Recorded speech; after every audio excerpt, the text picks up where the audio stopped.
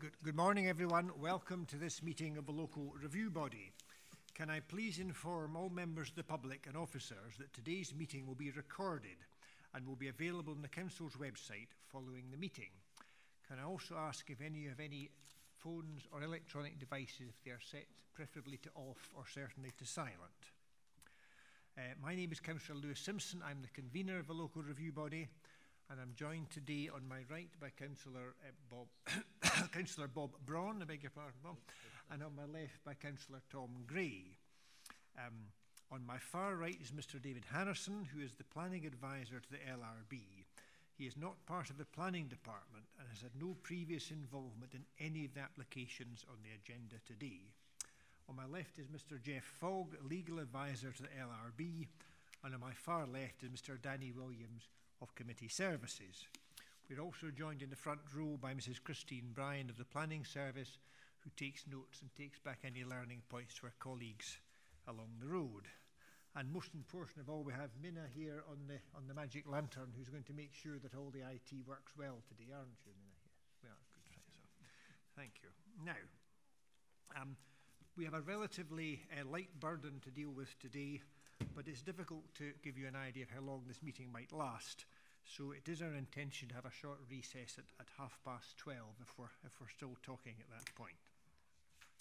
Um, declarations of interest. Can I ask, colleagues, are there any declarations of interest by members on any item on the agenda today? Councillor Brawn? Mm. Councillor No, no nor have I. Uh, can we note the uh, minute of the last meeting? Agreed. Agreed. Right, that's fine. And now we will move to the first item on the agenda, which is item 4.1, which is uh, an application for an extension to a dwelling house at Westwind St David's Madderty, Crieff. Can I ask if there's anybody here from that application? Welcome. Mr Harrison, can I ask you to introduce the application for review? Uh, thank you, Convener. I assume everybody can hear what I'm saying. Uh, as you say, this is a detailed planning application for the extension of a dwelling house at West Winds, St David's, Madderty. The existing house is a chalet-style bungalow with accommodation within the roof space. The extensions would, be mainly, would mainly involve a one and a half story wing with an additional wraparound single story extension and pitched roof dormers serving the existing upper floor space. There would also be some remodelling of the doors and windows and cladding of external walls in timber and re-rendering of walls also. The proposed ridge line would match the existing house. I'll just take you through the photographs now, but you might like to page 223 onwards, uh, provide you a location plan, a site plan, and of course drawings of the extension. The general sequence of the photographs will be the, the site from the main road, then the site from the side road, the site of the extension itself, and the front garden. So I say this first photograph is us on the main road through St David's, uh, looking towards the, the frontage, as it were, of the, the house as it stands at the moment, which as you can see is uh, partly behind a screen fence. And then swinging slightly to the uh, left of that photograph uh, we see the remainder of that frontage and of course some of the mature trees in that far corner. Moving down, as it were, to the access you see on the extreme left-hand side of the photograph there onto, as it were, what might be called the side road, uh, we then uh, see at that corner into the application site. Uh, the extension, just to be clear, are of course largely on the far side of the house from this particular position in the far corner, as it were. Moving and swinging slightly to the left of that photograph, uh, we're looking down the side road and that side gable elevation. And in this photograph, you'll pick up some of the, the trees, as it were, to the rear of the house, and also the development on the separate road, uh, which you'll see in the location plan further, further down. And swinging slightly further to the left of that photograph again, uh, we look down that road to those properties further to the north. So if we go down to the access that you see uh, most closely to you there, we can now look into the application site. Uh, and this gives an approximate indication of the position of the main part of the extension in that photograph, I say on the, the rear side of the application site as seen from the main road that is. And we go into the application site from there, uh, just to give you an indication of the, the plan area as well at the same time. And then moving on from that position, we move round, as it were, to the other boundary, the eastern side of the application site. And again, just to give you an indication of the position of the extensions on that side. Uh, and just to be clear, the blue line shows the extension which would be set to the rear, not to the front. The front is, of course, a lesser extension. Swaying slightly to the right of that photograph, as it were, we look over that boundary uh, into the garden adjacent, uh, and you can see that area is generally used uh, as open space uh, in relation to children's play. Swaying to the left of that photograph now, we go back to looking along the whole frontage of that south elevation, which of course has the slight wraparound element to it. And swaying to the left of that photograph again, uh, we take in the remainder of that front garden area, looking in a westerly direction. And you can probably just make out the, the house on the opposite side of the side road uh, beyond the trees at the far end of the garden there. If we go from that position up to the far corner of the garden, we then can look back to that front elevation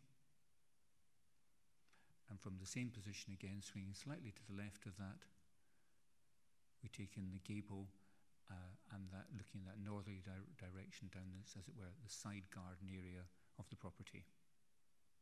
And moving from that position, we as it move up back to where we were starting in the driveway, uh, and from that driveway position, just to identify the area of the proposed parking you'll, you'll have in the drawings. So I'll leave you with that general photograph.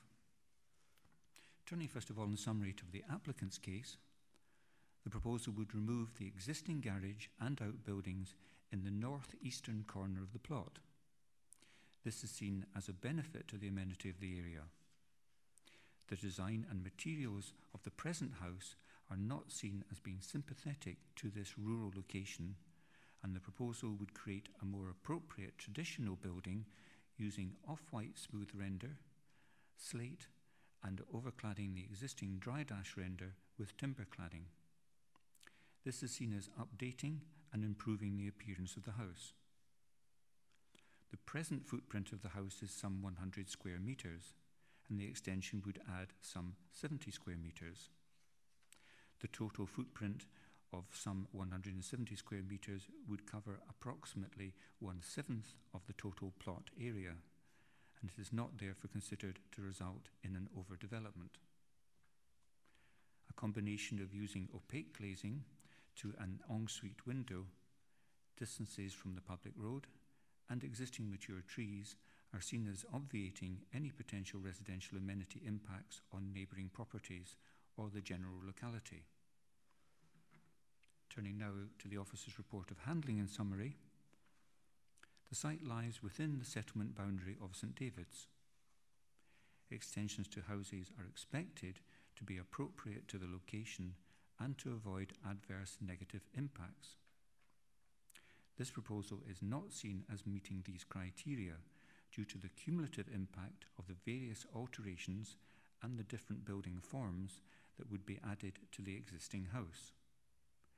These are seen as having contrasting and excessive scales and lacking in symmetry in relation to the host building.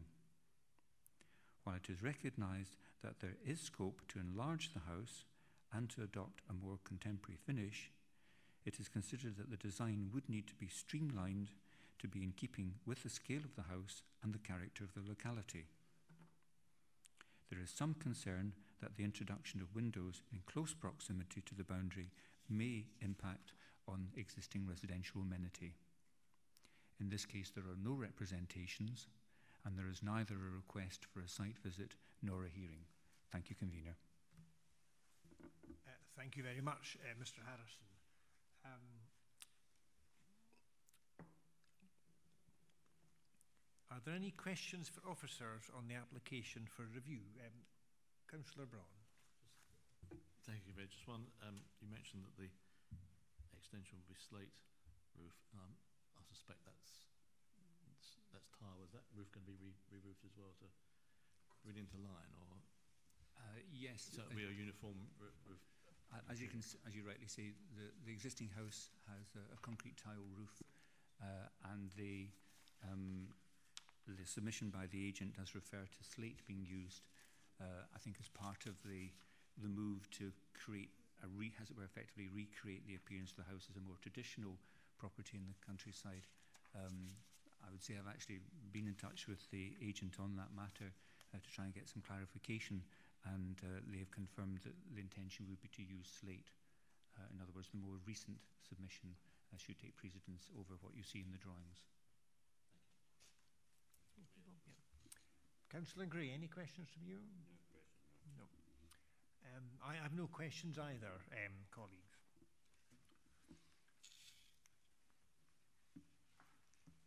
So, members, um, can we proceed to determine the application for review on the basis of the information before us? That is, the information contained within the papers and the presentation by the planning advisor, or do we require more information? Uh, Councillor Brawn. Councillor Gray? No, I'm happy that we have sufficient information as well. So, um, I think we'll move to debate and um, having considered the applicant's papers, the report of handling, the Perth and Kinross Local Development Plan and all relevant material plan planning considerations, I, I will start us off. Um, I think, colleagues, with this one, it seems to me that although it's an extension to an existing house, the overall result will be similar to a, to a, to a rebuild.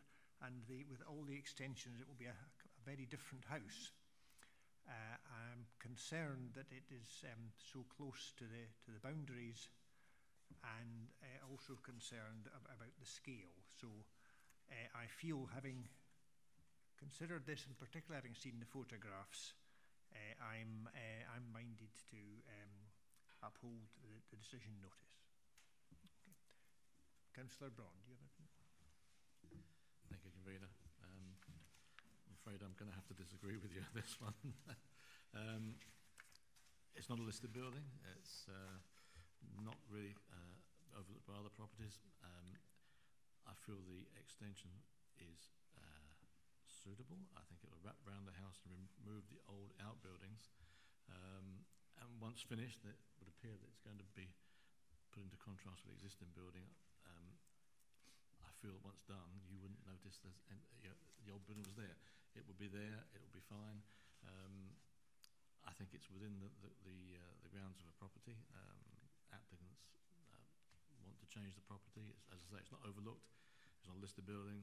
I, I don't see any reason why they shouldn't be able to do it. So I would, in this case, overturn the decision and allow the extension to be built, um, subject to usual conditions that it, that with regard to tiles and whatever, that it's made a, a uniform approach to the to the build. So yes, I would um, would uh, change the decision on this one. Thank you, uh, Councillor Brawn. Uh, Councillor Gray. Uh, right, here I'm going against it again. Uh, I've got to say I'm more in line with the convener in this one. I think the design itself is rather incongruous, a mix of a variety of modern features uh, in very strong contrast to the vicinity in which this building would lie. Um, the scaling, again, is incongruous to the particular neighbourhood. Um, and really, these are the two issues that bother me, the design and the incongruous nature of it and the scale of it just are a bad fit for this particular site. Uh, and I'd uh, stick with the decision. Thank you very much, Councillor Gray.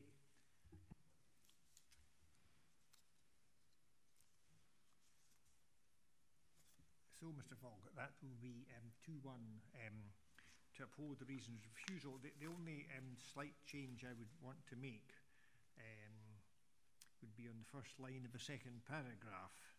I think when it refers to policy RD1, it should specifically refer to part C. That's okay. And when it refers to policy PM1B, I think it should only be part C. But with that, if, if Councillor Gray is in agreement. Yeah, can you clarify? So can I, uh, in relation to PM1B... Microphone, yes. You might, yes. Beg your pardon. In relation to PM1B, did you say is criterion C only and not D? If you just bear with me.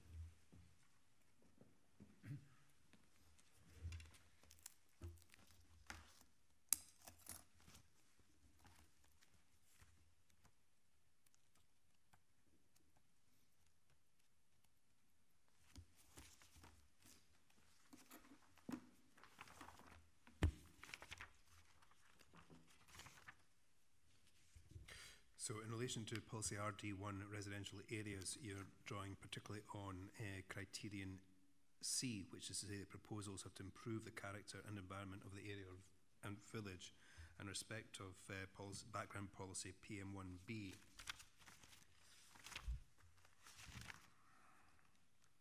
You're agreeing with um, placemaking criteria C, that's to say the design should complement surroundings in terms of appearance, height, scale, massing, um, but you're not concurring with the um, uh, employment of the, the criteria thereafter.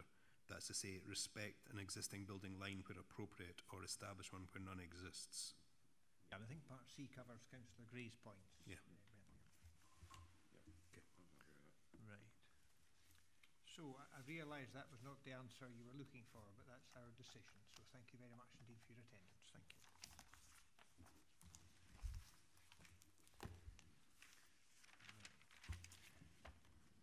So we now move to item um, 4.2, which is a planning application for the extension of a dwelling house in principle, land 30 metres west of Craigellachie Chapel Hill. Can I ask if there's anybody here from that? Welcome, sir. Thank you. Um, Mr Harrison, can I ask you to introduce the application for review? Thank you, Convener. As you say, this is an uh, application in principle for the erection of a dwelling house at land 30 metres west of Craigellachie, uh, Chapel Hill. The application site is mainly an area of grassland on a former railway. I'll just take you straight to the photographs now, but you might like to have page 93 onwards, provides you the location plan and the site plan. The general sequence of the photographs will be the site and the adjoining land as seen from the public road, the main area of the site, and then the strip forming the railway, and then the applicant's house. So I say this is us looking in an easterly direction uh, while on the main road, uh, and you see the application site there fronting onto the main road, uh, moving slightly to the right of that photograph. We're still on the main road, uh, but we've got the main body, as it were, of the application site. And in the photograph, you can see the what appears to be a former corrugated iron Nissen style hut uh, and the background of the uh, hedge separating, separating from Craigellachie. Moving again slightly to the right of that photograph, uh, we look down the adjoining field, as it were, to the application site. Uh, you can just pick up the applicant's house, uh, Willow View, in the far distance within that photograph as well. Uh, but you can see how the, uh, shall we say, the site uh, continues down the length of the railway line there. Moving on from that, we now move up, as it were, still in the main road, but looking into, as it were, the body of the application site and the section of railway stretching beyond, uh, and then moving into the site from there. Uh, we have just a detail of the, the building that's on the site at the moment. And then, as it were, moving round to the back of the building, uh, we see the other elevation and some uh, other material lying on the site. Swinging round to the right of that, we then take ourselves to the, the back of the main part of the application site, the corner, as it were, between the main part and the, uh, the, longitudinal section of it. And this is us looking into the field to the northeast. Uh, and to be clear, that's the field which lies within the settlement boundary. Because we'll see fields out with the settlement boundary a little later on. So we swing round to the right of that photograph. From similar position, from within the body of the application site, we look down the length of the, uh, shall we say, linear section of the application site, and we have Willow View identified there. Uh, and to be clear, so we have the field on the left-hand side of the red line uh, being within the settlement boundary, but the field on the right-hand side uh, being out with the settlement boundary as is the application site itself. So moving down, as it were, from that position, we go down towards the end of that uh, section of the railway, as it were, first of all to look across field towards the applicant's house, Willow View, then swing round to the right of that. We have the end, the southernmost end of the application site. Swinging round to the right of that again. We then look at, into the field on the, shall we say, the, the western side of the application site. And from there, swing round to the right again, we look down, as it were, the linear section of the application site. Swinging round again to the right of that, similar position, we look across the field which is within the, the boundary of the settlement.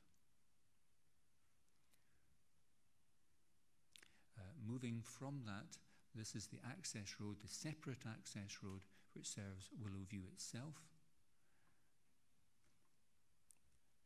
And then I'll just leave you with that general photograph of the main site. Turning first of all in summary to the applicant's case. In 2010, the applicant applied for their large garden to be included within the local development plan settlement boundary. Only part of the garden was subsequently included in the current local development plan. Consequently, they applied again in 2014 for the remainder, including the application site, to be defined as lying within the settlement boundary. There is a concern that the documents submitted through this process do not appear to have been added to the Council's website and may not have been taken into account in this application. That submission may have been confused with the site uh, in relation to an earlier submission by Errol Park Estate. There is also a concern that the officer, in referring to the refusal of planning permission some 13 years ago, did not appreciate the change from a 60 to 30 mile an hour speed limit and the granting of permission for three other houses within 200 yards which are served by the same main road.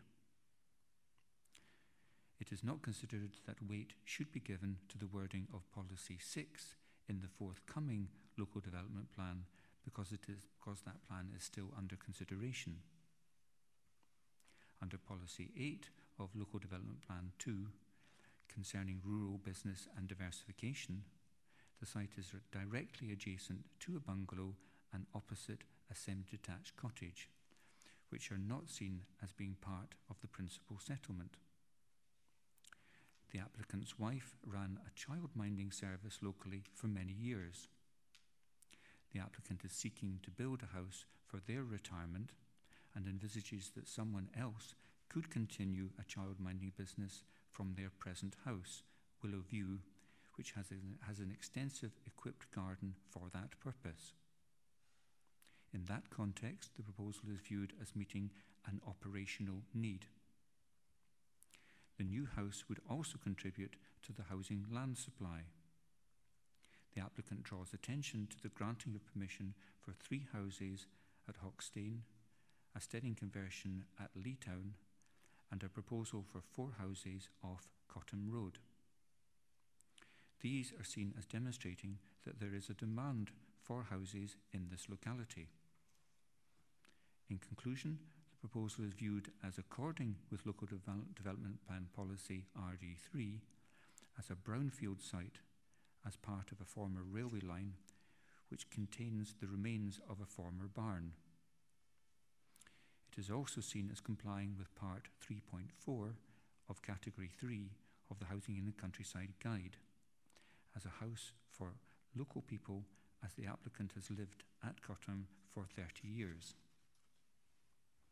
The site is also seen as meeting the siting criteria by retaining hedges and is a definable site, the appearance of which would be improved by the proposed development by removing a redundant commercial yard and building.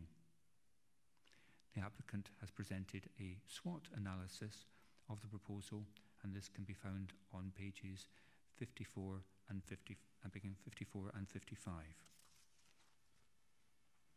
Turning now in summary to the officer's report of handling, the site lies to the west of the Cottam Chapel Hill settlement boundary. It forms a long linear strip along and adjacent to the settlement boundary. It was part of a former railway line. It also contains a small shed. As the site is out with but adjacent to the settlement boundary, it falls to be assessed against Local Development Plan Policy PM4, which presumes against development. While of limited weight in assessing the proposal, attention is drawn to the proposed Local Development Plan P, Development Plan 2, Policy 6, that confirms, updates, and goes further by limiting development in such circumstances to operational and locational need being demonstrated and no alternative sites being available, or where there is a housing landfall, land shortfall, or it is related to a rural business or diversification. None of these circumstances are present in this instance, in the officer's opinion. In conclusion, the proposal is contrary to Local Development Plan Policy PM4 as a development out with a defined settlement. In this case, there are no representations. There is a request for a site visit, but no request for a hearing. Thank you, Convener. Thank you very much indeed, um, Mr Harrison. Are there any questions for officers on the application for review? Uh, Councillor Gray? No. Uh, Councillor Brawn? Uh, I, I have no questions either, colleagues. So, members, can we proceed to determine the application for review on the basis of the information before us, that is, the information contained within the papers and the presentation by the planning advisor, or do we require more information? Councillor Gray? Councillor Brawn? I, I too am happy to proceed. Um, so we'll move to debate. Can I ask you, uh, Councillor Gray, having considered the applicant's papers, the report of handling, Perth and Kinross Local Development Plan and all other relevant material planning considerations to start us off? Right, thank you, uh, Convener. Um, clearly, this is out with the, the, uh, uh, the, the site, um, out with the community site, and it really, I cannot see any reason why we would wish to change. Uh, in this case, I don't see any local need. Uh, other houses have been built locally. I can't see a need uh, relating to the present owner who is already in a house to say that he needs a house there because he has always stayed there when that applicant has a house already. Uh, I can't get my head around that one. Uh, it's simply out with the boundary of the community and therefore uh, I've got to go along with the, the decision already given. Thank you very much indeed, Councillor Gray. Uh, Councillor Brawn. Thank you, Convener. Um, I think I just have to uh, agree with uh, Councillor Gray. I can't see any reason to uh, to change the decision that's been made. It is out with settlement boundaries. Um, I think that although there's very, very various arguments been put forward, ultimately it still comes back to that point. So I would have to agree with the uh, planning officer. Thank you very much indeed, uh, Councillor. We, we don't always agree in this committee, you made us the last time, but on this occasion I, I do agree with my colleagues. Um, there comes a point with settlement boundaries where we're, we're obliged to uphold them unless there is some overriding consideration why we should not do so. And uh, like my colleagues, I, I fail to see any, any, any reason to, to um, overturn the, the, the reasons for refusal. So I think that's a, a three in favour, Mr. Mr. Fogg. Um, the only thing I think, I don't know if um, Councillor would like to add anything to the refusal. I just feel that perhaps we could say something about the, the fact there are no other um, overriding considerations or circumstances which would make a change of boundary uh, acceptable. but perhaps, perhaps uh, Mr Harrison or Mr Fogg could make, make, that, make that sound better, you know. Uh, I, I take your comment as meaning that you would add into the reason for refusal given in the decision notice um, the effect of and there are no identified reasons for um, approving the proposal as development plan departure or So I realise that wasn't the answer you were looking for, but we've made our decision. So thank you very much for your attendance. Thank you.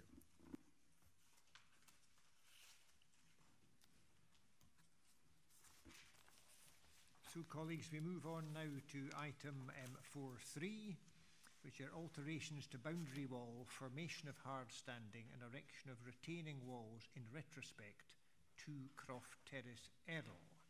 And I assume there's no one here from that application. We are from that case. Um, welcome, welcome. I thought you were just keen staying on here some more. Uh, so, um, Mr Harrison, can you introduce his application for review? Yes, thank you, Convener.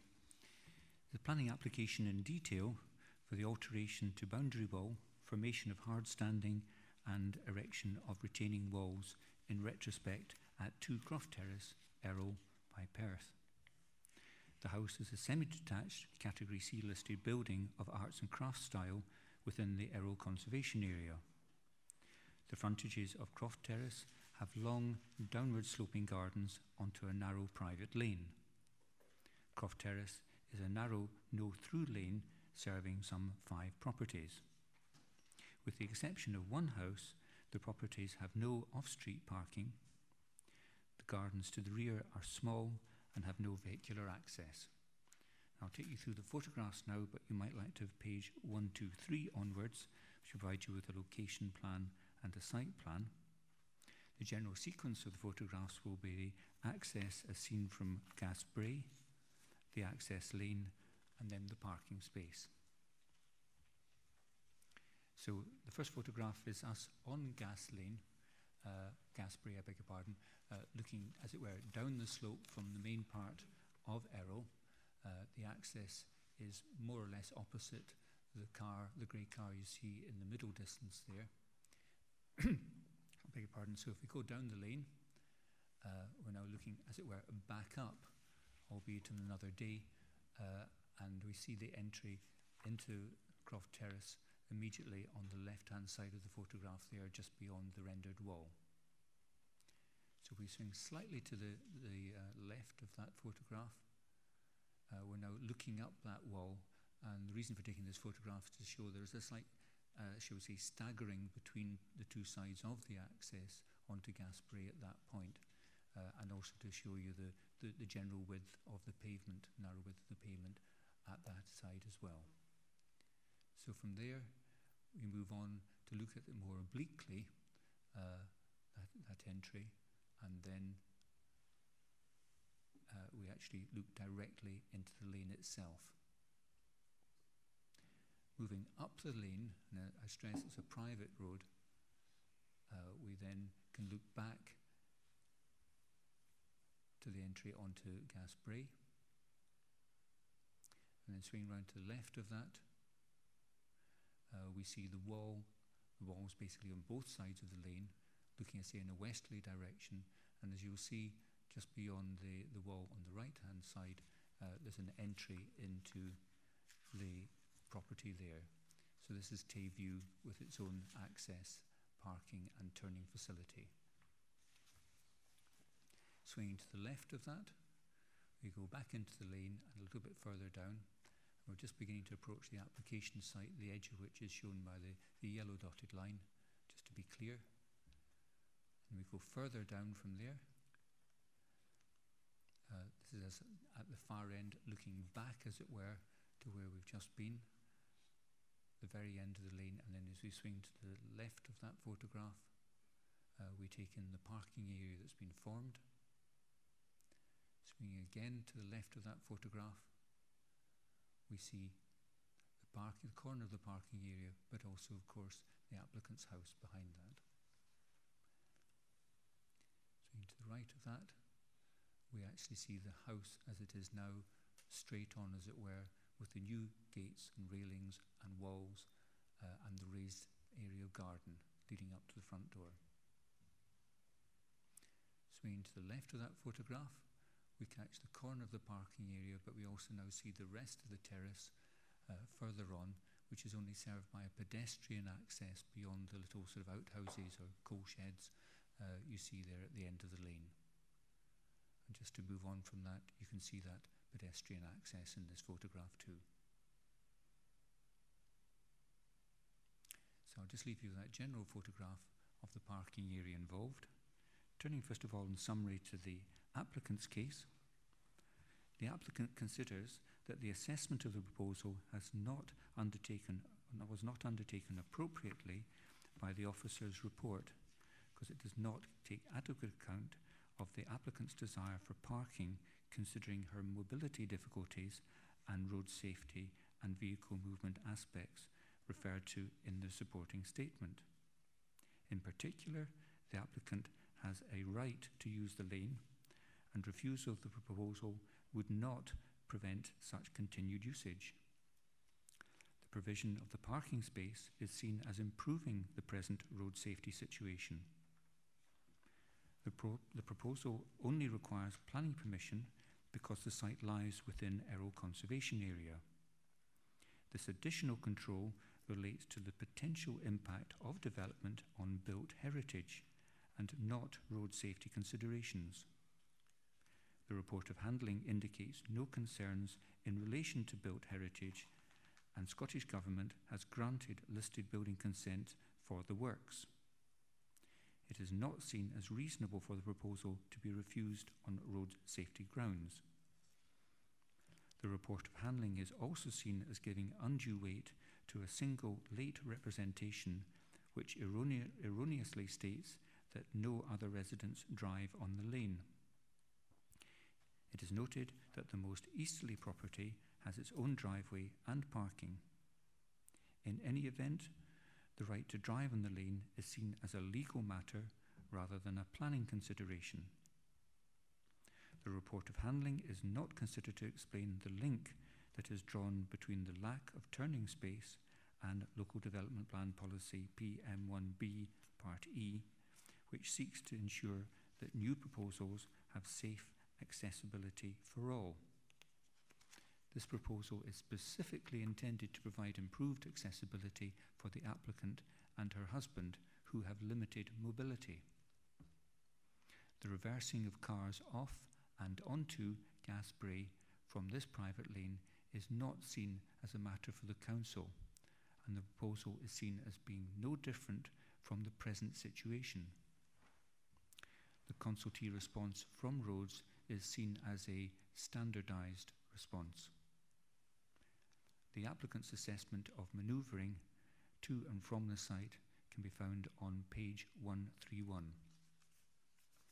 Turning now in summary to the officer's report of handling, the previous application for this proposal was refused under delegated powers and subsequently refused by the local review body. The related appeal against the refusal of listed building consent has been upheld, and listing building consent has been granted for the works involved. The reporter's view that the proposed works would not fail to preserve or enhance the character and appearance of the conservation area are noted and accepted. The applicant's desire for off-street parking due to their mobility difficulties is understood. However, Croft Terrace is not seen as being suitable for traffic and visibility at its junction with Gas Brae is very poor. Transport planning object to the proposal due to the lack of manoeuvring space to allow the car to enter or leave the lane in a forward gear. Consequently, despite sympathising with the applicant's personal circumstances, the officer concludes that the proposal should be declined due to these road safety considerations. In this case, there was one representation. It was a late representation, mainly expressing concern regarding road safety matters. In this case, there is neither a request for a site visit nor a hearing. Thank you, Convener. Thank you very much indeed, um, Mr Harrison. Are there any questions for officers in the application for review? Uh, Councillor Brock. Thank you, convener. Um, just a couple of questions. Firstly, on the page 153, I just wondered if you might be able to clarify a point on the, this is the um, traffic planning report. It says on the third paragraph, the proposed site plan shows an insufficient one metre opening. I just wondered that, where that was. That's my first question. Uh, yes. Uh, well, if we turn to page uh, 123, which gives you the site plan, Right, yeah. uh, I can only assume uh, that what the officer may have been may have been referring to, because I could say I can only assume this, is the approximately one metre wide gap uh, in the red dotted lines, Oh, yeah. uh, which obviously is, if you like, is a shadow of the, uh, the, the former wall and pedestrian entry into the garden in the past.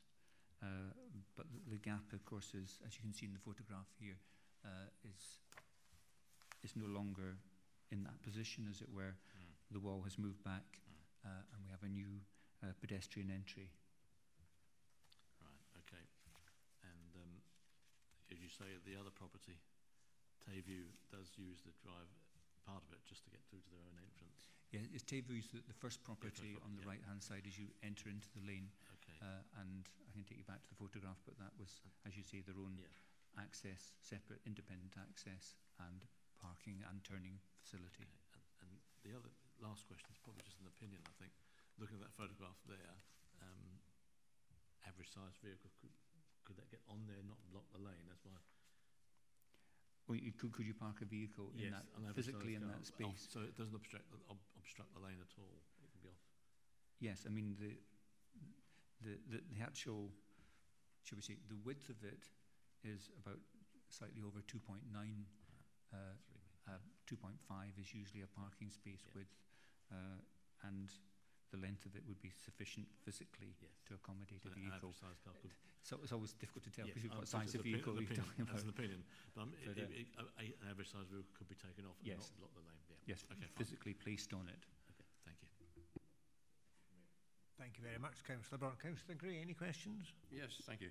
Uh, Mr Fogg, um, we've had professional advice which has said the access is unsuitable and has recommended refusal on that basis uh, of the safety of the access from the Gas Brae.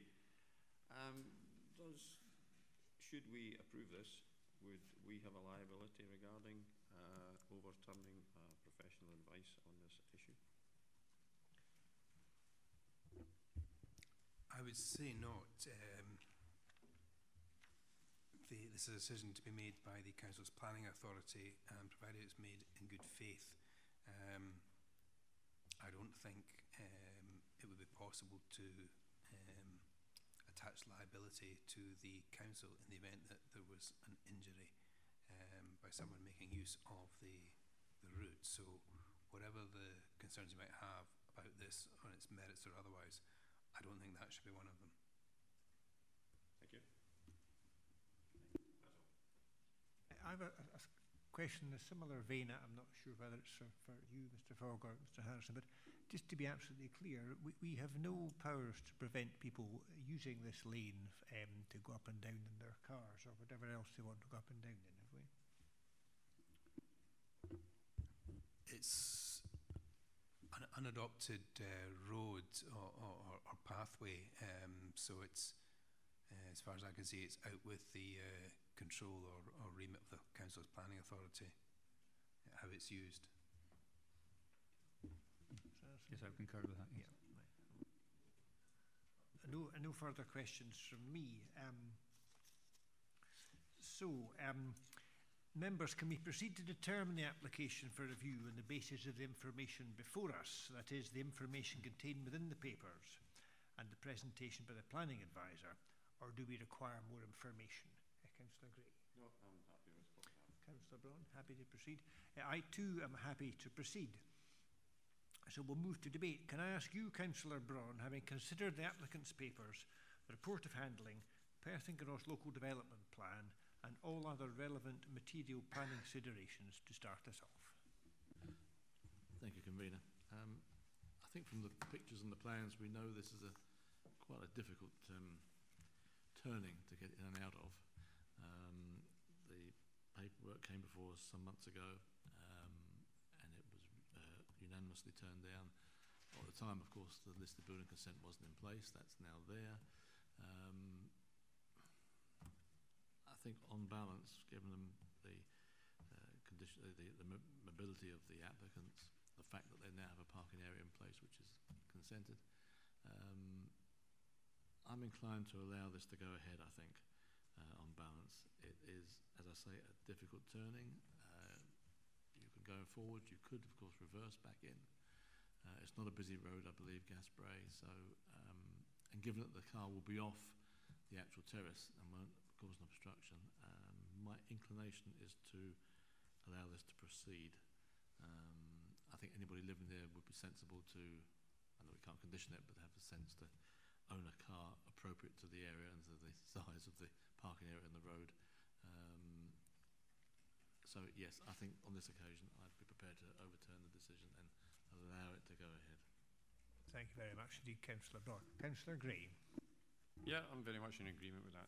Um, this is, is a private concern, the fact that it is a private road and a private uh, desire to take a car in there is entirely up to the person uh, so wishing to do, uh, to have a car which is suitable to such a space and uh, suitable to their needs and would not be applying for permission unless they thought they could, uh, such a vehicle could be accommodated there. Um, and I can see no other reason for refusing it. The, the access is only used by pedestrians and not many at that uh, to the house beyond. Um, nah, good luck to the applicant. Thank you, Councillor Gray. Um, we, don't always agree, as you know, on this, but on this occasion, um, I find that uh, I know Errol fairly well, and um, is, is, is not a main thoroughfare, uh, although it is a busy parking area. Uh, and if someone wished to provide a parking space to this in an area which was not um, a conservation area, they would be allowed to do so. Um, I'm also persuaded uh, by the applicant's suggestion on page 131 that in fact if they park the car there they actually dice with well, I mean dicing with death's a bit much but they take a chance coming in and out of Gasbury less often if they park their car there than they do if they reverse up unload it and take it back out again so I think that is quite a persuasive argument. In fact, from a road safety point of view, you're coming in and out less if you park than if you, if you don't.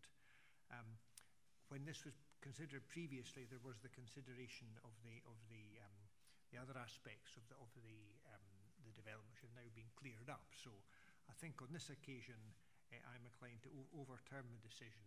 And as Councillor Gray says, good luck to people coming in and out of the end of Croft Terrace. But I think it's a uh, overturning the refusal, Mr. Fogg.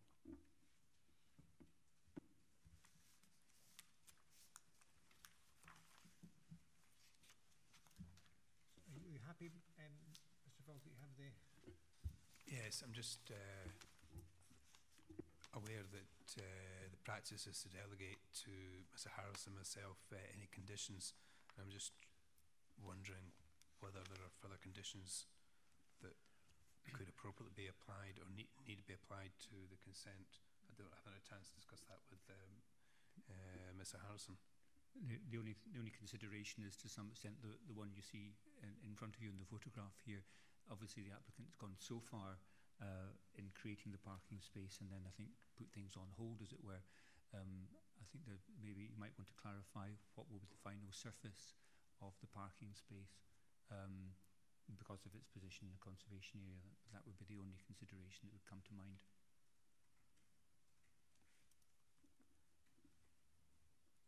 Yeah. Anything to add on the Uh, would that, microphone on, Tom? sorry, yeah, would the parking space relate, uh, would it be worthy of note that the parking uh, space should relate purely to the uh, property currently delineated, by the bricks there as it is at the moment, but must not park on the common piece of track. Um, Was that not relevant? I well, uh, uh, I'm, um, I'm concerned about the normal direction that uh, about enforceability and um, there's a limit to how far in a condition you can go. Um, it would be out with the curtilage of the development, therefore it wouldn't be authorised, but it would then become a private matter.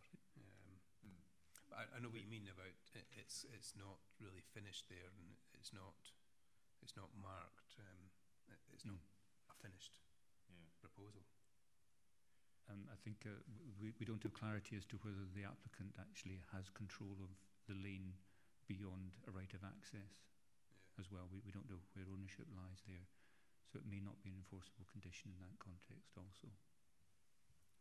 Um, I'm not particularly precious about that point, um, frankly, because I think, you know, you're talking about one neighbour who may or may not wish to have a vehicle there at some point to take stuff in and out. Um, are we obliged to make any condition of that? No. We, we will, there will be a condition regarding the finish that we will leave Well, you and that's Mr. I think, I think we can leave you, Mr. Harrison, to delegate to you that, that it must be finished in Yeah, an appropriate, an appropriate surface. But as regards the, the use of a lane, I think, I think we've come to the conclusion that that's not, not up to Yeah. the planning authority.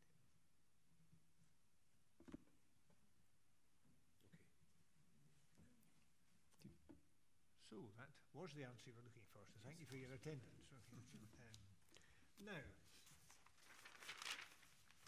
if we can move on, colleagues, to th- the last item, which is item 4.4, and this is application for the erection of a dwelling house in principle on land 120 metres northwest of Loke Mill Farm Bank Foot. Uh, Mr Harrison, can I ask you to introduce this application for review? Uh, thank you, Convener. As you say, there's a planning application in principle for the erection of a dwelling house at land 120 metres northwest of Mill Farm, Bankfoot. The site extends to some 1.2 hectares, most of which is farmland, which generally slopes down from west to east. The site contains a derelict building of what remains of the original corn mill. The site lies to the west of the A9 road and is accessed via the previous alignment of this road and a shared private track with the former Loke Mill Farm steading, which has been converted to housing. But you might like to have page 191 and 197 onwards, provides you a location plan, a site plan, and indicative drawings of the siting and a house design. The general sequence of the photographs will be the Loke Mill farmhouse development, the site itself, the former mill, and then the site from the lower level and then the upper level. So I say this is us uh, looking across, so we say to the south from the access road, uh, looking at the area of what appears to be land being used as garden ground in association with Loke Mill. That's the for, former farmhouse, which you can see on the extreme right of the photograph there on the other side of the Garry Burn. Uh, I also mentioned that there appears to be a pond created in that area, which is, uh, it seems to be a similar arrangement to what was originally proposed uh, with the first application uh, for the convert or the redevelopment of the, the, the mill uh, building uh, on the previous application, which has lapsed. But moving to the right of that photograph, uh, we see a little bit more of that garden ground and Loke Mill, the steading buildings and other buildings which have been converted. The right of that photograph, we then look down the access track uh, and we start to take in the application site, but you might just be able to make out the one of the steading conversion buildings on the left-hand side of the photograph there between the trees to show you the relationship between the two. And certainly you can make out the bridge. So swinging to the right of that photograph, we see the, uh, the main body, as it were, of the application site, and we see the former mill building. And from that position, we move down the access road uh, and have, a, shall we say, a, a closer appearance of the, ac- the access to the application site and the building that remains there and the rising ground behind. So we go down the access road, uh, we cross the bridge and just give indication of the Garry Burn and then the entrance to the application site. So we're just catching the former mill building there and as you can see the application site uh, rises from that level up towards the, uh, the ridge. So swinging slightly to the right of that photograph, we look directly into what was the previous uh, application site and the former mill building. And then from that position, we go past the mill building and we look at the, uh, the rear of the building itself. You can see it's partially set into the rising ground. And then swinging to the right of that photograph, we look up the slope. Uh, this is all part of the application site. And it's basically with the yellow line giving an indicative position of the house uh, shown on the drawings. And then swinging to the right of that again, we're still getting the indicative position of the house and the remainder of the application site uh, in that northerly direction. And then if we swing round again to the right of that photograph, we're looking up the remainder of the lower level of the application site, looking in that northwesterly direction. And obviously you can see the Garry Burn uh, just on the right-hand side of that photograph. So if we swing round again from that same position, we look across the Garry Burn uh, in the direction of the A9 and as you can see in that photograph, we have the land on the opposite side of the Garry Burn, which is enclosed by the blue line in your plan. There's additional land in the applicant's ownership. And then we have the trees and the rising ground up to the A9 beyond that. So we move on from there uh, up to, shall we say, the westernmost corner of the site. And this is us looking in a northerly direction towards Bankfoot. And we'll have a sequence of photographs now swinging round from that corner of the site. So we swing to the right of that. Uh, we look down the application site towards the A9. You might be able to pick out a vehicle on the A9 from that position. It's the existing A9. Obviously, there's a dualling process in, in taking place at the moment. Looking in a northeasterly direction, and we swing round again from the same position, uh, a slightly more elevated position, move to the right. We look down the application site across the indicative position of the proposed house and you can see the former mill there. And you have the bank of trees adjacent to the A9 in that photograph too. And beyond that, you might even be able to make out some of the earthworks taking place at the moment in association with the dualling process.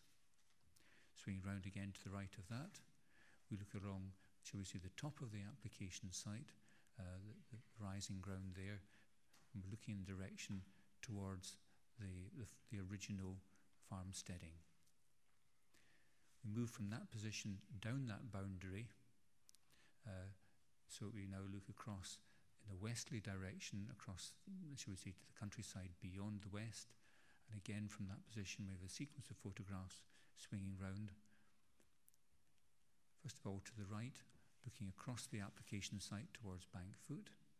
To the right again, looking over, the, as it were, the top of the, uh, the, the, the mill building and towards the A9.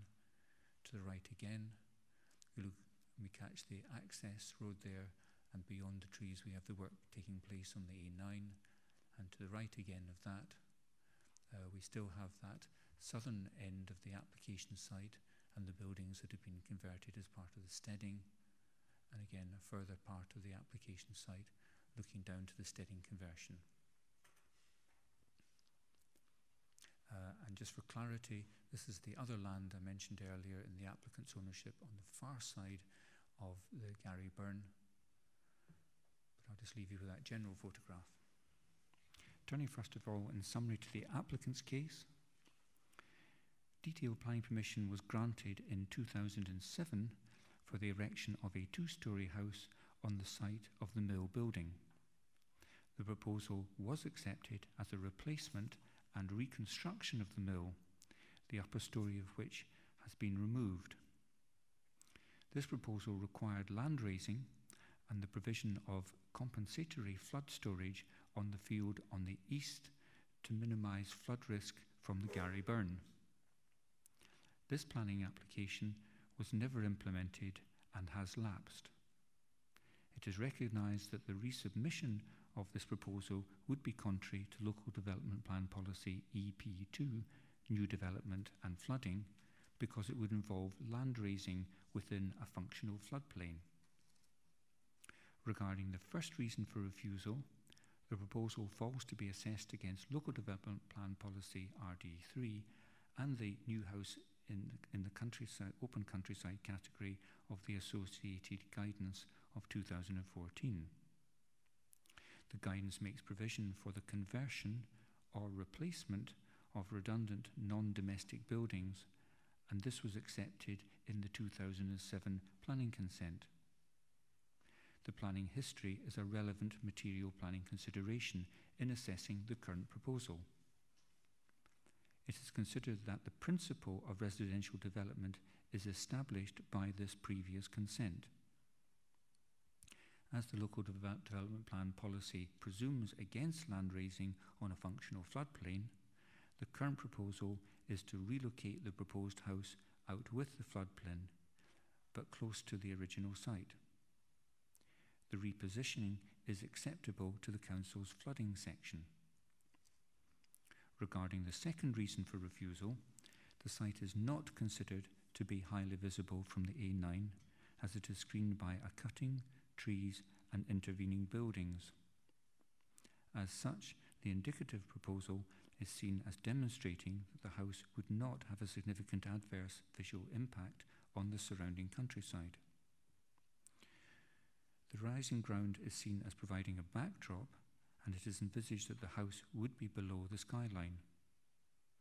Examples of other developments that have been provided uh, have been provided which are seen as being similar to and therefore supportive of the current proposal. Regarding the third reason for refusal, the proposed house would not be sited on the footprint of the mill building. It is considered that the principle of demolishing the mill building has been accepted. It is considered that, as this is an in principle application, the assessment of the presence or otherwise of bats in the mill building could be made the subject of a suspensive planning condition, with any mitigation measures that may be necessary undertaken at that stage. Turning now in summary to the officer's report of handling, it is recognised that part of the site, including the former mill building, is at risk from flooding. There was a planning consent for the replacement of the mill building with a house back in 2007. That permission was never implemented and has expired the site does not have the benefit of any planning consent. Consequently, the applicant's view that the principle of the development of, the, of a house is established is not accepted. The application site lies within the countryside, therefore the proposal is assessed against Local Development Plan Policy RD3 and the criteria of the associated Housing in the Countryside guidance. Policy and guidance that postdates the earlier planning decision. In this instance, the relevant categories that might lend support to the proposal are new houses in the open countryside and the conversion or replacement of redundant non-domestic buildings. The existing mill building is not considered to be suitable for conversion to a house due to the level of flood risk. Therefore, its demolition was assessed as being justified. Support for a replacement building is dependent on the footprint of the original building being at its core. As this proposal seeks to erect a dwelling house in principle in a different location from that of the existing mill building, it cannot be considered to fall within this category. As a new house in the open countryside, there can be support for the relocation of a house to the nearest alternative site, where the house is at risk of risk from flooding uh, and is to be demolished. However, this policy re relates to the relocation of an existing house that is at risk. In this instance, the former mill building is not an existing house and has never been a residence. Consequently, it cannot be considered or supported under this category. In addition, the prospective siting of the proposed house is viewed as being prominent in the landscape and would not have suitable enclosure or backdrop as there are no established trees or topographical features that enable it to blend sympathetically into its landform. There is a lack of definable boundaries, and post and wire fencing is not accepted as creating a definable site. There is an expectation that the proposal would be extremely prominent in the landscape, including views from the A9, an important tourist route. In this context, the proposal is also seen as failing to meet the siting criteria of the guidance. It is accepted that the prospective hilltop position would eliminate any flood risk. It is noted that the Perth and Kinross Heritage Trust recommend the retention of the former, bill, former mill building due to its archaeological interest. The Council's guidance requires a preliminary assessment of the presence of bats within the former Bill building to be undertaken as part of the assessment of the proposal. This survey was not requested as the proposal was unacceptable for other reasons in principle. In this case, there are no representations. There is both a request for a site visit and for a hearing. Thank you, Convener. Uh, thank you very much indeed, uh, Mr Harrison. Are there any questions for officers on the application for review? Uh, Councillor Gray? No.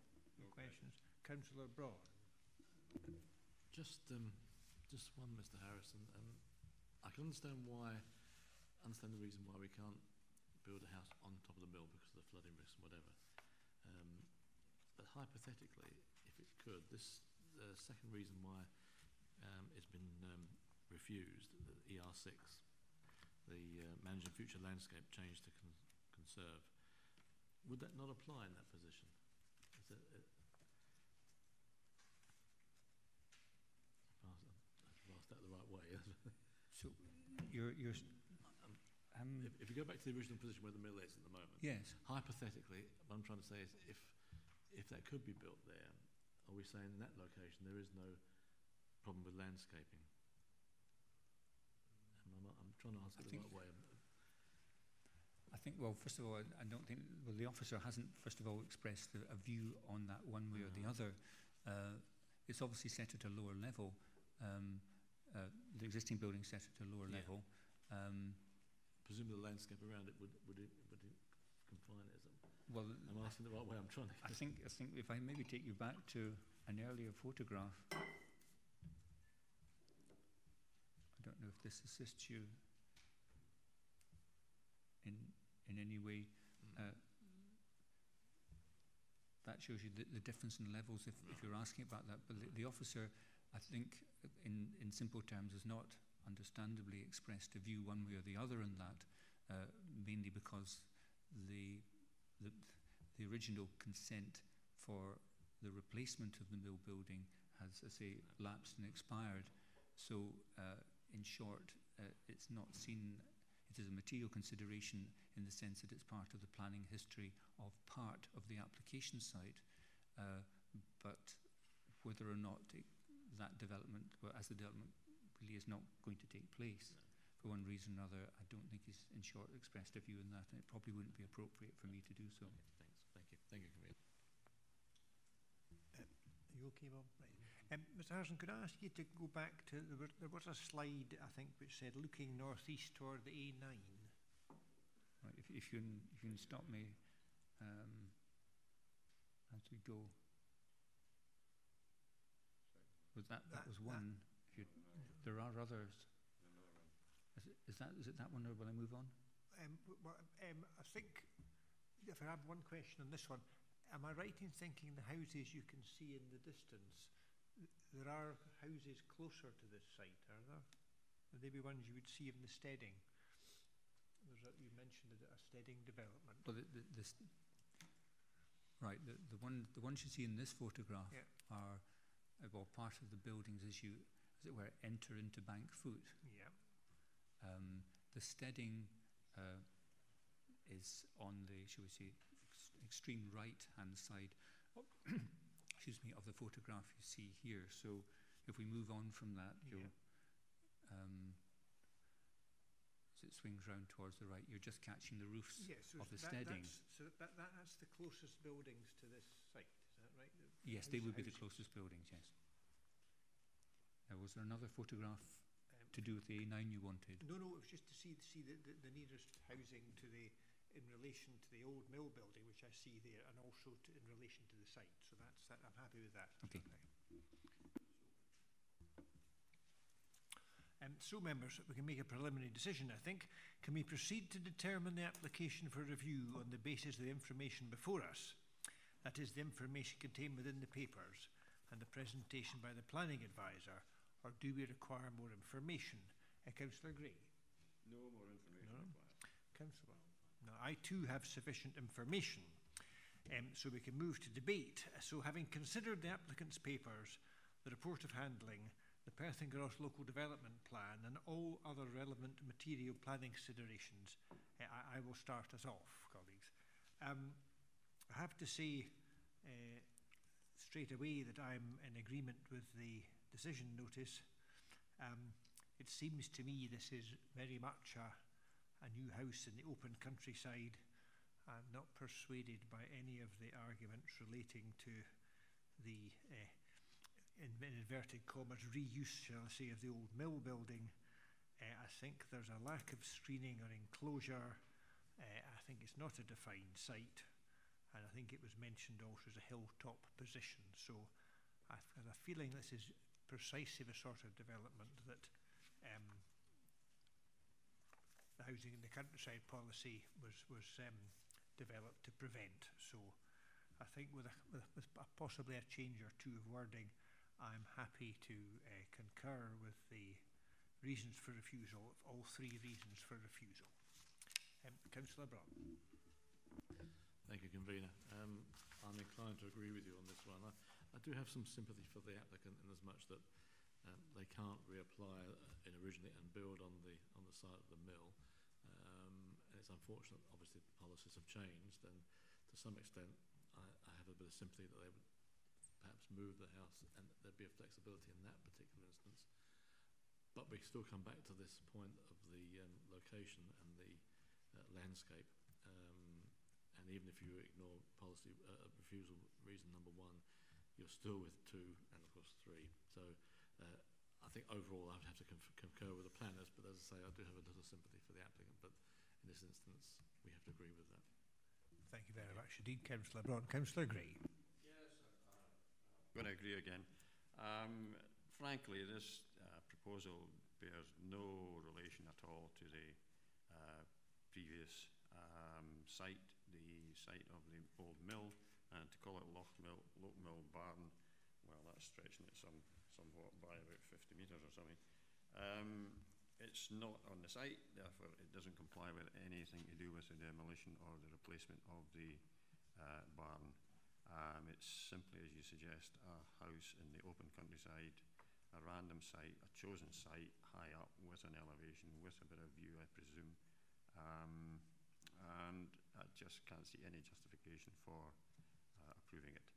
And I would, but I would say that, you know, the third reason for refusal, I'm not particularly convinced about the third reason. Uh, it, it's there, but it's not of any significance. But the first two reasons are absolutely correct. Um, uh, and I'm happy to go along with my two colleagues. Thank you, Councillor Gray. It's another uh, unusual display of unanimity. Um, uh, I think, um, Mr Fogg, I think I, we, we're all agreed, I think.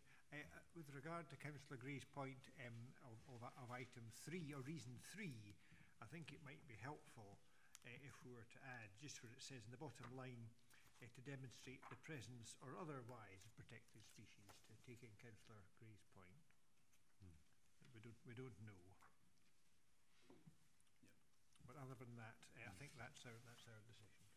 Have you anything to add, uh, Mr Harrison? Uh, no, thank you, Chair.